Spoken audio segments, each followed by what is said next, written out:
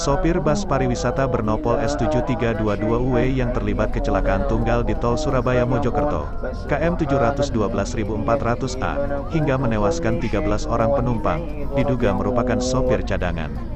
Kabit Humas Polda Jatim Kombes Pol Dirmanto mengatakan, sopir yang mengemudikan bus bernasib nahas itu, merupakan sopir cadangan yang menggantikan sopir utama dalam perjalanan bus pariwisata tersebut.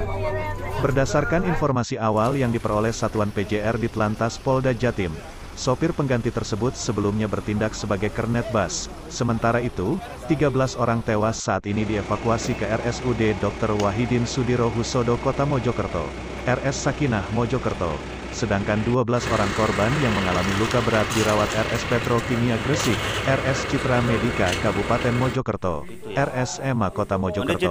Ini sudah masuk di sini 1 2 3 4 5 ini Pak 6 7 8 9 sudah masuk 9